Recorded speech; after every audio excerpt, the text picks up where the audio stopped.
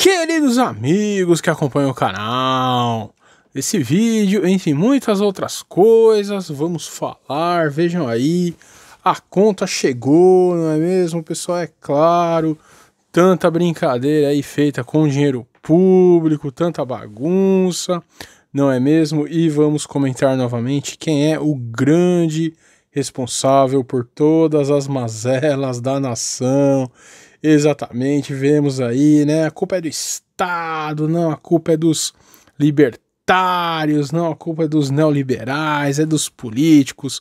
Um joga para o colo do outro. É impressionante, não é mesmo, pessoal? Então vamos mais uma vez, né? Reforçar aqui quem é o grande culpado. Maravilha, pessoal. Mais uma vez, obrigado ao nosso amigo Roberto de Portugal, que né, essa figura aí, por exemplo, foi uma figura que ele mandou então, muitas das informações aqui é sim compartilhada por ele aí nos nossos grupos. Maravilha, gente. Então vamos lá. Antes vejam aí essa notícia, né? Multinacional francesa traz soluções assistidas por inteligência artificial para acelerar programas de energia, sustentabilidade e clima. Olhem só, hein, gente. Exatamente o core ali do que a gente explica no nosso curso. Então a Udemy né, mandou algumas correções aí para nós, a gente arrumou e já devolvemos, eles estão analisando novamente. Então logo logo o módulo principal será lançado, mas o introdutório já está disponível. Quem quiser dar uma olhadinha aí, com conceitos muito importantes, né, relacionados então à inteligência artificial. E mais uma vez, quem faz parte aí dos nossos grupos gratuitos, mande e-mail para entrar nos grupos de WhatsApp para discussões ou então entre no link do Telegram para apenas leitura, não é mesmo? E para quem nos segue ali no Patreon, o nosso canalzinho pago tem um desconto muito maior.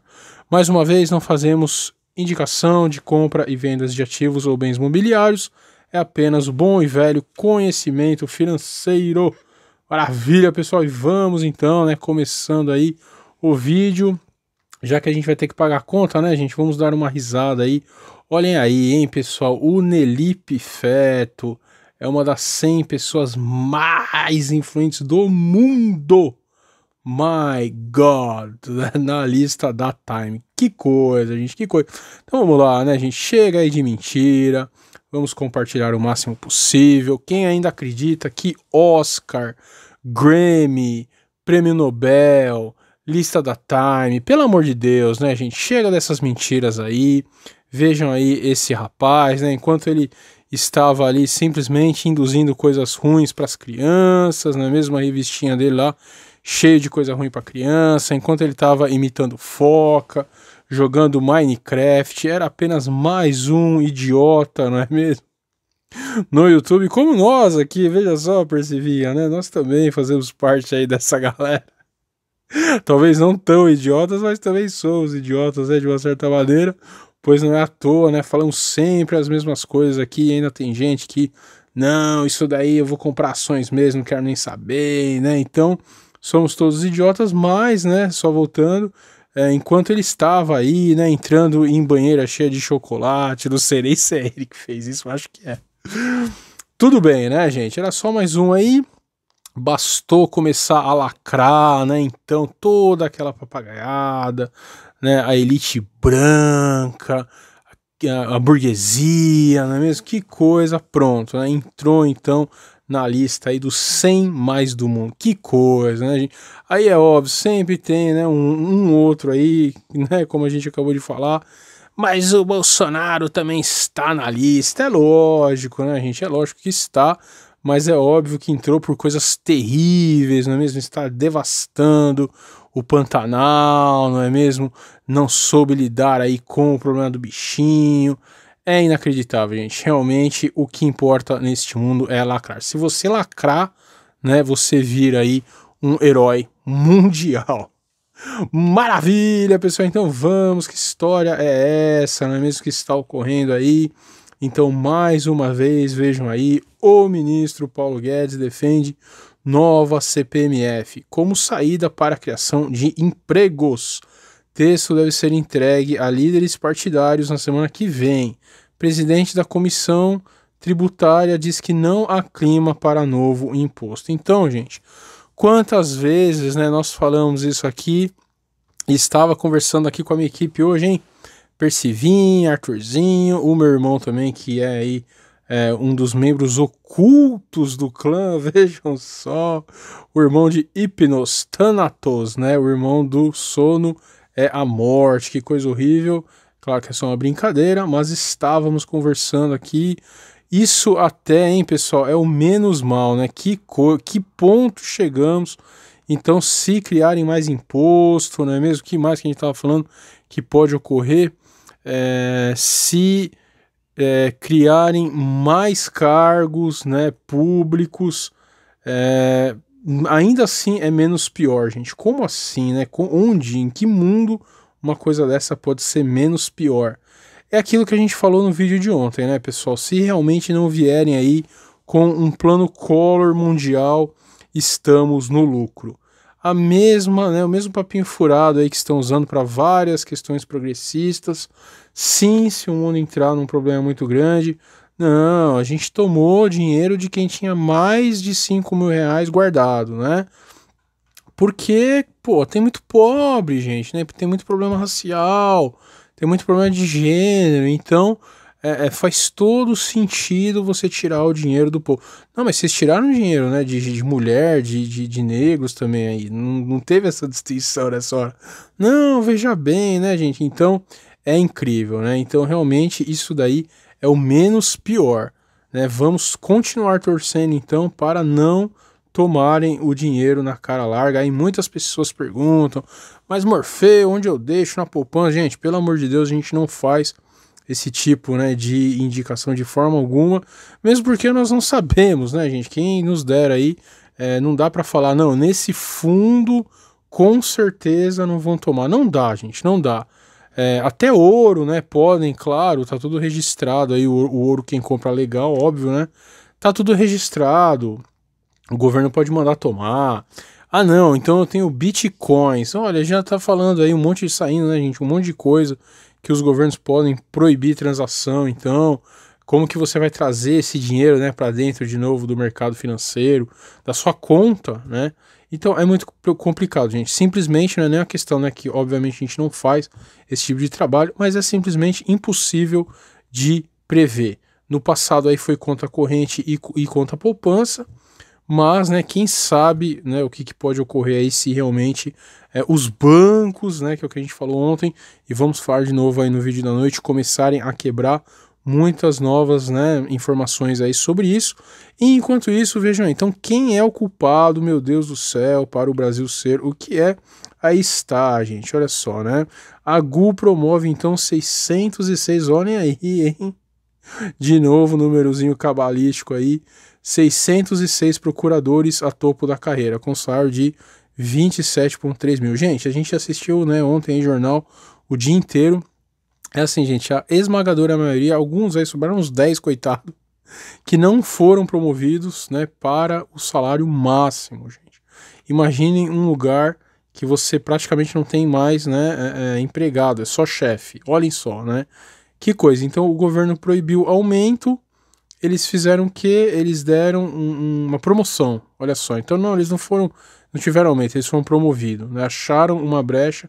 Gente, um órgão de advocacia achou a brecha e se beneficiou.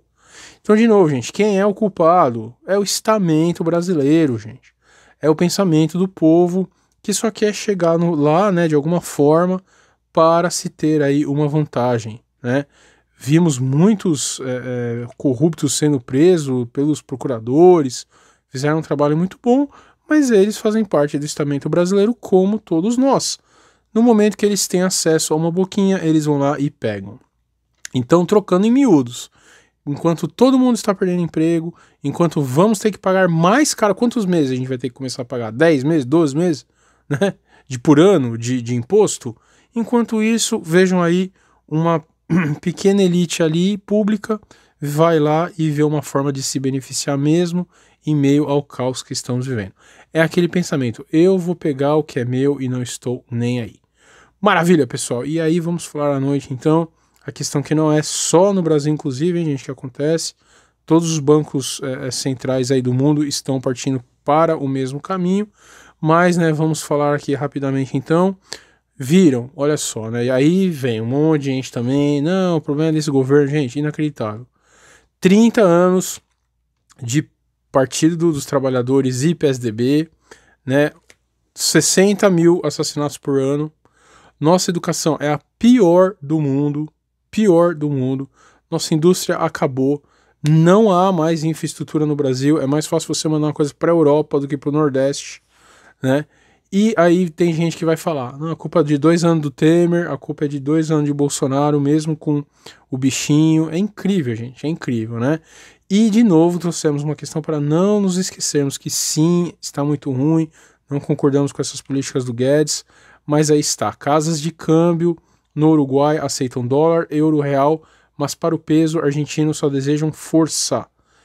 Eles até vendem pesos argentinos, mas para comprar só se for de graça. Gente, olhem só, Argentina força ali, né? Inacreditável, gente. Inacreditável. E ao mesmo tempo, o PIB da Argentina tem queda histórica no segundo trimestre.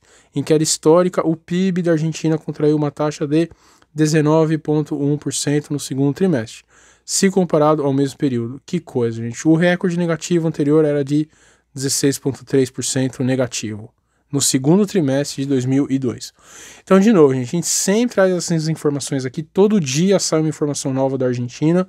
Já temos Cuba, que pegou aí né, o caminho nefasto há muitos anos. Venezuela, há, alguns anos, né, uns 10 anos. 10 anos que degringolou de vez, está nesse processo uns 20, né, 30 até, será? E agora a Argentina. Então, gente, sempre, sempre, sempre vamos lembrar aqui. O Brasil tem duas saídas, né? Uma é isso aí tudo que a gente está vendo, que está ruim, sem dúvida. Mas não podemos nos esquecer, gente. Se a gente eleger de novo essa galera que destruiu a América Latina, que fez tudo isso com o Brasil, acabou. Esse mesmo pessoal que está destruindo a Argentina concorreu o segundo turno aqui no Brasil e declaradamente não acreditam, olha só, né, no conto do teto de gastos.